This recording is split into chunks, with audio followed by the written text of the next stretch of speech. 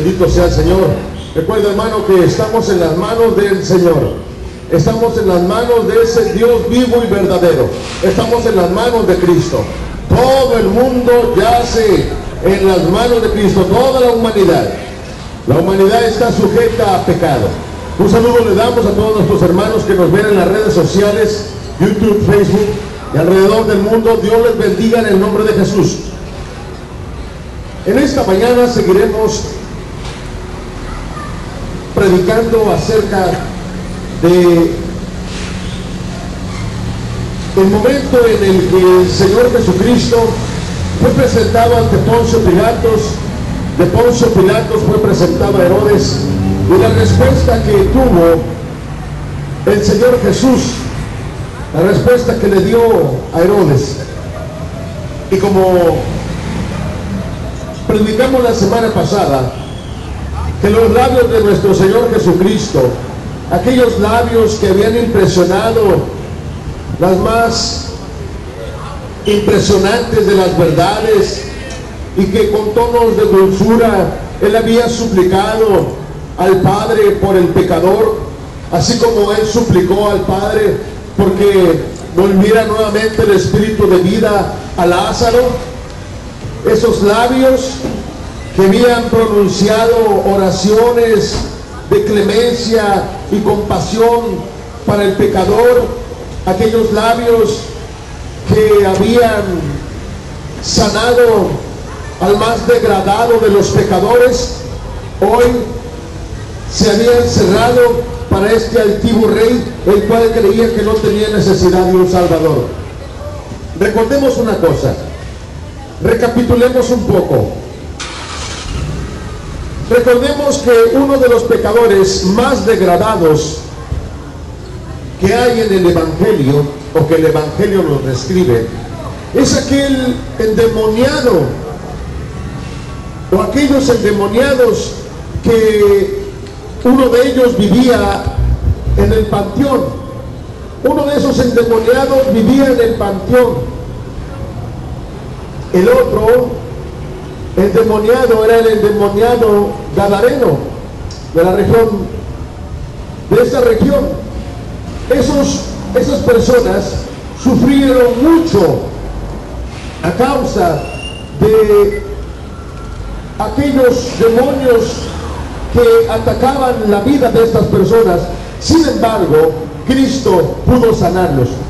Cristo pudo traer sanación a ellos, aun cuando ellos no la pidieron. Recordemos cómo el endemoniado gadareno le dijo, ah, los demonios le dijeron, ah, Jesús, vienes a atormentarnos antes del tiempo. Bueno, aquellos labios que habían tenido clemencia se habían cerrado para Herodes. En el momento en el que Herodes miró que Jesús no estaba realizando ningún milagro, en el momento en el que vino la decepción a la curiosidad de Herodes, en ese momento Herodes lo viste, le da una de sus prendas, una prenda real, y lo echa fuera. Y lo entrega ante los soldados romanos, lo vuelve a entregar ante los soldados judíos, y Herodes, soldados romanos y judíos legatarios se burlaron de él. Nuevamente se unieron en él hacia abusos hacia Jesús. Ya ves, Herodes como este no es nadie, es como este hombre no tiene la capacidad de realizar ningún milagro, no hay ningún poder en él. hemos venido diciendo, se lo, de, se lo hicimos saber a Poncio Pilato. Poncio Pilato te lo mandó para que tú lo comprobaras. Aquellos seres viles no pudieron representar a nuestro Señor Jesucristo. No lo pudieron representar con el carácter vil que ellos tenían. Mira hermano, hay un error en todos los hombres. Ese error es llegar a creer que todos somos iguales. Hay un error que entre los hombres, usted y yo no somos iguales, hermano. No. Usted y yo no somos iguales. Seremos iguales ante los ojos de Dios, pero usted no tiene los ojos de Dios. Ni yo tengo los ojos de Dios. Por lo tanto, en esta tierra ni usted ni yo somos iguales. Así aquellos hombres, aquellos dignatarios judíos intentaron presentarle a Herodes, intentaron decirle, mira Jesús, mira Herodes, este Jesús es igual de vil que nosotros, es un judío.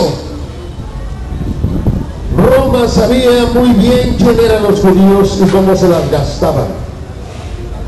Poncio Pilato sabía muy bien cómo era el pueblo judío y cómo se las gastaba, cuál era su conducta, cuáles eran sus paradigmas, cuáles eran sus estilos de vida, cuáles eran sus creencias, sus rebeliones.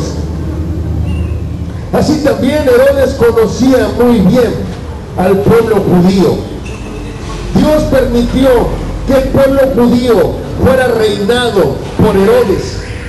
Él tiene sus razones. Así como Dios permitió que el pueblo de Israel fuera dominado por Roma a través de Poncio Pilatos. Pero estos hombres no pudieron presentarle a Herodes. Herodes no quedó convicto de que él era un vil judío. Herodes no creyó de que Jesús era un vil judío. Herodes estaba convicto de que Jesús era y es el rey. Un rey que no desplegaba, amado hermano, un rey que no desplegaba ninguna palabra, un rey que sus labios se habían cerrado, un rey que no desplegaba odio ni envidia, sino más bien era un rey que desplegaba sobre el pecador misericordia. Él sabía, al igual que Pilatos, que este no era un hombre común, no era un hombre común como el resto que le acompañaba, esa pandilla de burladores adúlteros y criminales. Al Señor Jesús lo acompañaron, deja de mover la cámara. Al Señor Jesús lo acompañaron. Cuando fue camino a Herodes, ahí iba acompañado de criminales, iba acompañado de adúlteros, de fornicarios, iba acompañado de mentirosos disfrazados de sacerdotes, disfrazados de soldados, disfrazados de autoridades. Así hoy en día hay hombres disfrazados de autoridades, criminales disfrazados de autoridades. Como aquellos hombres que no sabían vestir, no sabían vestir.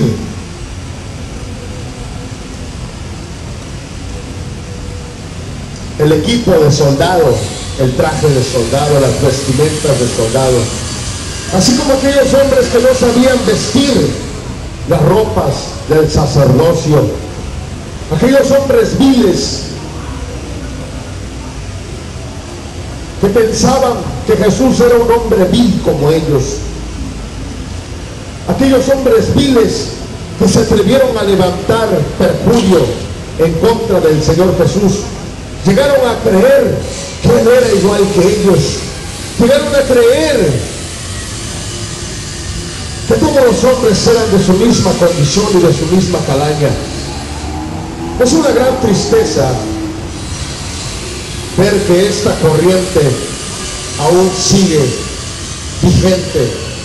Hombres que visten trajes de autoridad, uniformes de autoridad para unirse al crimen.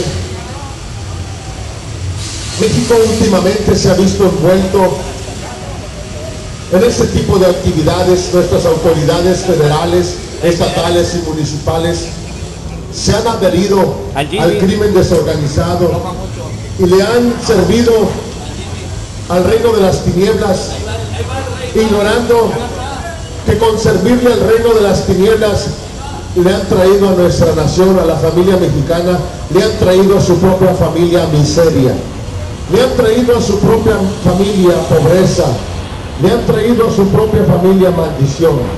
¿Sabía usted, amado hermano, que sobre nosotros los sacerdotes, así como sobre las autoridades federales, estatales y municipales, presidentes, gobernadores y alcaldes, sobre ellos cae una gran responsabilidad, una responsabilidad que es mayor a la del ciudadano común. Sobre mi cabeza como sacerdote hay una responsabilidad mucho más grande que la del ciudadano común. ¿Por qué? Porque como sacerdote soy una persona con autoridad, una persona que representa el reino de los cielos. De acuerdo a la palabra de Dios, vengo a ser un representante del reino de los cielos y por lo tanto me veo en la obligación de predicar la constitución celestial. Esta es la constitución celestial. Como embajador del reino de los cielos debo de hablar a favor de la constitución celestial. Hoy muchos hombres no están hablando a favor de la constitución celestial. Hoy muchos hombres están hablando dentro de las iglesias mentiras, engaños, falsedades, así como en el mundo están hablando basofia, que por cierto, busque usted en el diccionario el significado de la palabra de la palabra basofia. Así hoy dentro de las iglesias se está predicando basofia. Se está predicando basofia. De ahí que el Señor Jesús, cuando venga, va a decir, apartados de mí. Pero aquellos hombres dirán, pero ¿cómo? Apartado, pues si yo en tu nombre eché fuera demonios, si yo en tu nombre hice milagros, ¿por qué me estás lanzando afuera? Porque no hicieron lo que el Señor nos mandó hacer.